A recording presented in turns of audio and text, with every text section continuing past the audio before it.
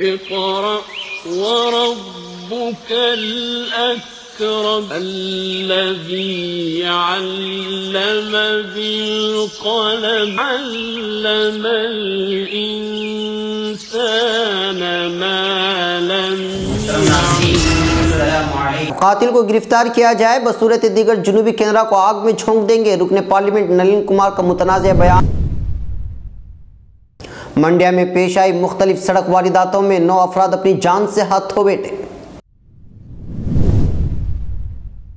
Supreme court का तारीखी फैसला, मज़हब, जात और बरदरी के नाम पर वोट मांगना गैर कानूनी इंसानियत की अनोखी मिसाल बिहार लाश पहुँचाने के लिए मुतैद हुए कस्बे वाले। इस्तंबुल की एक जामिया मस्जिद में फायरिंग, दो अफराद जख्मी। इंडोनेशिया में सयाहों की कश्ती में आग लग गई, तेईस अफराद हलाक।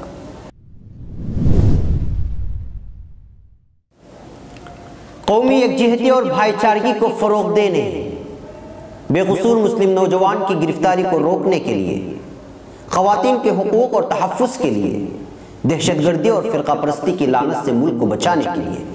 मौलाना हाफिज नदीम सिद्दीकी सदर जमियत महाराष्ट्र की जेर सदारत और मौलाना मोहम्मद इकबाल नदवी सदर जमियत रत्नागिरी की जेर सरपरस्ती। 8 जनवरी बरोज इतवार सुबह 9 बजे से 2 बजे तक चंपक मैदान उद्यम नगर रत्नागिरी में जमियत हिंद रत्नागिरी की जेर अहतमाम मुनद होने जा रहा है। एक तारीखी कौमी एक कॉन्फ्रेंस। जिसमें नाजिम अमूमी जमत हिंद और सबक मेंबर ऑफ़ पार्लियामेंट हज़रत मौलाना सैद महमूद असद मदनी शिरकत करते हुए खसूस खिताब फरमाएँगे। जलसे में कसीर तादाद में आवाम की शिरकत की तो लगाई जा रही है। जमत ज़िला रत्नागिरी के तमाम जिम्मेदारान ने आवाम से कसर तादाद में शिरकत करने की अपील की है। नाजरीन, अब खबरें तफसील से। मैंगलोर बीजेपी मेंबर कार्तिक राज के कातिलों को दस रोज़ के अंदर सलाखों के पीछे ना पहुँचाए जाने पर एमपी नलिन कुमार कतील की जानब से जनूबी केनरा में आग लगा देने के मुतनाज़ बयान के खिलाफ उल्लाल ब्लॉक कांग्रेस ने आज कोनाजे पुलिस थाने में मामला दर्ज किया है। मामला दर्ज करने के लिए कांग्रेस से ताल्लुक़ रखने वाले कई सियासी रहनुमाओं के साथ साथ आवाम की एक बहुत बड़ी तादाद पुलिस थाने के बाहर जमा हो गई थी और नलिन कुमार के मुतनाज़ बयान की पुरजोर मजम्मत की। याद रहे कि सबका ताल्लुक पंचायत सदर उमेश गानिगा के बेटे कार्तिक राज नामालूम अफराद की जानब से किए गए हमले में 23 अक्टूबर 2016 को हलाक हो गया था। यूथ कांग्रेस लीडर मिथुन राय ने कहा कि लोग पुरअमन माहौल के लिए तरसते हैं, लेकिन एमपी नलिन कुमार कतील पुरअमन माहौल में खलल डालने की साजिश रच रहे हैं। और बीजेपी का यह दस्तूर रहा है कि वो इन इंतबात से पहले आग लगाने का काम करती है, हम उन्हें उनके मनसूबों में कामयाब होने नहीं देंगे। अगर नरीन कुमार कतील जनूबी किन्नरा को आग लगाने का काम करता है तो कांग्रेस आग बुझाने का काम करेगी। उल्लाल ब्लॉक कांग्रेस के सदस्य संतोष कुमार ने कोनाजे पुलिस थाने के सर्कल इंस्पेक्टर से शिकायत करते हुए कहा कि नलिन कुमार कतील मेंबर पार्लियामेंट है, उन्हें लोगों की जिंदगियाँ बचाने की फ़िक्र होनी चाहिए, लेकिन वो ज़िले को आग में झोंकने की बातें कर रहे हैं, जिससे लोगों के दरमियान घबराहट का माहौल पैदा हो गया है। उन्हें पुलिस ने मस्कुर एमपी के खिलाफ सख्त कार्रवाई किए जाने की मांग भी की। संतोष कुमार ने पुलिस थाने में शिकायत दर्ज कराने के बाद कहा कि हमने जिला इंचार्ज रामानाथ राय और वज़ीर यूटी कादिर को पेश करता है कि अर्जदाश में कार्तिक राज के कत्ल मामले में सीआईडी जाँच किए जाने की मांग की है, लेकिन एमपी नलिन कुमार कतिल को मुतनाज़ और फिर कवारना बयान का सहारा नहीं लेना चाहिए। बताया जा रहा है कि नलिन कुमार के इस मुतनाज़ बयान के खिलाफ यूथ कांग्रेस की जानब से जमेरात की शाम में एहतजाज भी किया जा चुका है। मंड्या नए साल की आमद पर कर्नाटक के मंड्या ज़िले में खुशियों के दरमियान गम का माहौल छाया रहा, जहाँ मुख्तलिफ़ वारदातों में नौ अफराद अपनी जान से हाथ धो बैठे।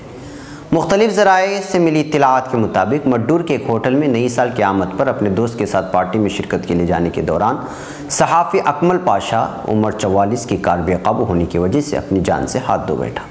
इसके दोस्तों में लोबेशा, हरीश और अभिनंदन उनको सख्त चोटें पहुँची हैं।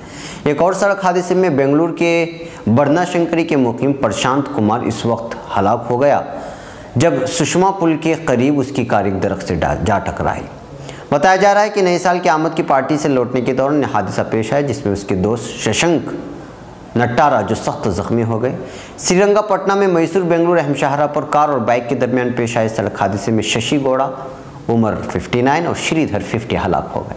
रात तीन बजे नई साल की पार्टी से लौटने के दौरान बाहुबली इंजीनियरिंग कॉलेज का तालिब इल्म चेतन 20 बाइक का पहिया फिसलने से ज़मीन पर आ रहा और जख्मों की ताब न लाकर हलाक हो गया। मरुकुन्नाहली में कत्ल की वारदात में जेडीएस लीडर हरीश बत्तीस अपनी जान खो बैठा। एक और कत्ल की वारदात में एक दोस्त ने अपने दोस्त का कत्ल करने के बाद फांसी लेकर खुदकशी कर ली। महलूक अफराद की शनाख्त राजेश चालीस और महेश अड़तीस के हत्ये से कर ली गई है। के अफसर भीमा नायक का ड्राइवर, जिसको बदनवानी के इल्ज़ाम में गिरफ़्तार किया गया था, फांसी लेकर खुदकशी कर लिए जाने की वारदात भी इसी मौके पर पेश आई है। नई दिल्ली। सुप्रीम कोर्ट ने आज अपने एक अहम फैसले में उम्मीदवार या उसके हामियों के मज़हब, बरदरी, सात और ज़बान की बुनियाद पर वोट मांगने को गैर कानूनी करार दिया है। अदालत ने अवामी नुमाइंदगी कानून की दफ़ा एक सौ तेईस तीन की वजाहत करते हुए अहम फैसला सुनाया। सात जजों की बेंच ने चार तीन की अक्सरियत से फैसला दिया। Chief justice T S Thakur की क्यादत वाली बेंच ने इस मामले में समात के दौरान अवामी नुमाइंदगी कानून के दायरे को वसी करते हुए कहा कि हम ये जानना चाहते हैं कि मज़हब के नाम पर वोट मांगने के लिए अपील करने के मामले में किस मज़हब की बात है? फैसले में कहा गया कि इंतबात एक सेकुलर तरीका है और अवामी नुमाइंदों को भी अपने कामकाज सेकुलर बुनियाद पर ही करनी चाहिए। अदालत ने अक्सरियत की बुनियाद पर दिए गए इस फैसले में कहा कि मज़हब की बुनियाद पर वोट देने की कोई भी अपील इंतबी कवानीन के तहत बदनवान की तरह है। अदालत ने कहा कि भगवान और इंसान के दरमियान का रिश्ता ज़ाती मामला है। कोई भी हुकूमत किसी एक मज़हब के साथ ख़ास सलूक नहीं कर सकती और ख़ास मज़हब के साथ ख़ुद को शामिल नहीं कर सकती। फैसले के हक़ में जज ठाकर के अलावा justice M Lokur, justice N L Rao और एस ए बोबडे ने इस तरह का ख्याल पेश किया, जबकि अकलीत में justice U U Lalit, justice A Goel और जस्टिस डी वाई चंद्रचोड़ ने ख्याल पेश किया। अदालत ने हिंदुत्व मामले में दायर बहुत सी दरखास्तों पर समाप्त करते हुए ये फैसला दिया है। अदालत ने वाजे किया है कि अगर कोई उम्मीदवार ऐसा करता है तो यह अवामी नुमाइंदगी कानून के तहत बदनवानी वाला रवैया माना जाएगा और यह कानून की दफ़ा एक सौ तेईस बार तीन के दायरे में होगा। इस मामले से मुतल दरखास्तों पर गुजत छः दिनों में मुसलसल समात हुई। सीनियर वकील कपिल सुबुल, सलमान खुर्शीद, श्याम दीवान इंद्राज सिंह और अरविंद दत्तार वगैरह कई नामी गिरामी वकला ने दलीलें पेश की। बेंच ने एक बार फिर ये वाजे किया कि वो हिंदुत्व के मामले में दिए गए 1995 के फैसले पर नजरसानी नहीं करेगी। जज जी वर्मा की बेंच ने दिसंबर 1995 में फैसला दिया था कि हिंदुत्व लफ्ज़ हिंदुस्तानी लोगों की तर्ज ज़िंदगी की तरफ़ इशारा करता है। हिंदुत्व लफ्ज़ को सिर्फ़ मज़हब तक महदूद नहीं किया जा सकता। कोर्ट का यह फैसला ऐसे वक्त में आया है जब आइंदा चंद माह में मुल्क की सबसे बड़ी रियासत उत्तर प्रदेश के अलावा पंजाब, उत्तराखंड समेत कई रियासतों में इंतबात होने वाले हैं। बैतूल मध्य प्रदेश के बैतूल ज़िले के घोड़ा डोंगरी के बाशिंदों ने नए साल पर इंसानियत की एक अनोखी मिसाल पेश की है। यहाँ चलती ट्रेन में बिहार के गरीब शख्स की मौत होने पर मकामी लोगों ने न सिर्फ़ हर तरह का ताउन किया, बल्कि आपस में चंदा जमा करके लाश को बिहार तक पहुँचाने के लिए गाड़ी का इंतज़ाम भी किया। मैयत के साथ सिर्फ़ उसकी बीवी और दो मासूम बच्चियाँ थीं। इतलात के मुताबिक बेंगलोर से पटना जा रही बागमती एक्सप्रेस में बिहार के समस्तीपुर ज़िला का मोहम्मद शाहिद पच्चीस, अपनी बीवी रुखसाना बाईस और तीन और और एक साल की दो बेटियों के साथ अपने गाँव जा रहा था। बेंगलुरु में पेशे से मजदूर शाहिद गुजशत दो माह से बीमार था। इस दरमियान ट्रेन में उसकी हालत इंतहाई नाजुक हो गई। इतवार की दोपहर दो बजे घोड़ा डोंगरी स्टेशन पर उतारकर उसे तिब्बी मरकज लाया गया, जहाँ डॉक्टरों ने उसे मुर्दा करार दे दिया। अनजान शहर में मुसीबत ज़दा इसकी बीवी अपने होश हवास खो बैठी। मकामी लोगों को जब इस बात की खबर मिली तो अस्पताल पहुँचे और लाश को उसके घर पहुँचाने का इंतज़ाम शुरू किया। दरियासना मकाम मेंबर मकामी मेंबर असम्बली मंगल सिंह की क्यादत में कुछ ही देर में रकम जमा हो गई, जिसके बाद लाश को दोपहर तक एक प्राइवेट गाड़ी से बिहार के लिए रवाना किया गया। दुबई। तुर्की के ज़रा अबलाग ने खबर दी है कि इस्तंबुल शहर की जाम मस्जिद हसन पाशा में गुज्त रोज़ फायरिंग के वाक़े में कम से कम दो अफराज ज़ख्मी हो गए। अलरबिया के मुताबिक तुर्क वज़ीर दाखिला सुलेमान सवेलो ने बताया कि मस्जिद पर फायरिंग के नतीजे में दो अफराज ज़ख्मी हुए। कबल अजी इसी शहर में नए साल की तकरीबा के लिए एक नाइट क्लब में जश्न मनाने वाले अफराद पर मुसल्ह अफराद ने फायरिंग की थी, जिसके नतीजे में सोलह गैर मुल्कियों समेत उनतालीस अफराद हलाक और दसियों ज़ख्मी हो गए थे। जकार्ता इंडोनेशिया के दारकूमत जकार्ता के शिमाल में वाक़ जजीरे पर सयाहों को ले जाने वाली कश्ती में आग लगने से तेईस अफराद हलाक और सत्रह ज़ख्मी हो गए हैं। कश्ती में गुंजाइश से कई ज़्यादा लोग सवार थे। तहम एक सौ चौरानवे अफराद को बचा लिया गया।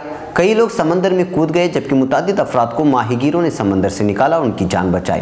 गैर मुल्की खबर रसा इदारे के मुताबिक इंडोनेशिया की पुलिस के तर्जुमान ने मीडिया से बातचीत करते हुए कहा कि कश्ती में आग बज़ाहिर जनरेटर में शॉर्ट सर्किट की वजह से लगी। हादसा उस वक्त पेश आया जब कश्ती 200 से ज़्यादा अफराद को लेकर जकार्ता से तेदवंग जजीरे की जानब रवा थी कि इसमें अचानक आग लग गई। कश्ती में मौजूद एक मुसाफिर ने बताया कि जैसे ही कश्ती अपनी मंजिल की जानब रवाना हुई, उसके पंद्रह मिनट बाद ही अकब में बैठे अफराद ने शोर मचाना शुरू कर दिया।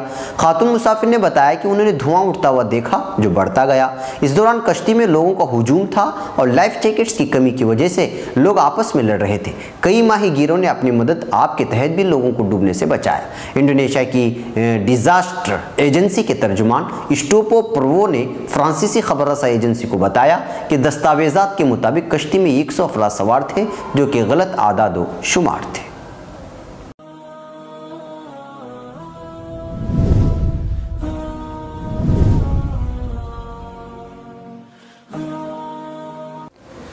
दो हज़ार सोलह का मुसलमान कुछ पाया तो नहीं, मगर सिर्फ़ खोया ही खोया। नाजिन ज़िंदगी का एक साल बीत गया। लगता है अभी अभी मैंने साल 2015 की रुदात सुनाई थी। अब सुनिए, साल 2016 की अनकही रुदात। इसी पस मंज़र में इस हफ़्ते देखना ना भूलें, फ़िक्र खबर की सीधी बात मेरे साथ।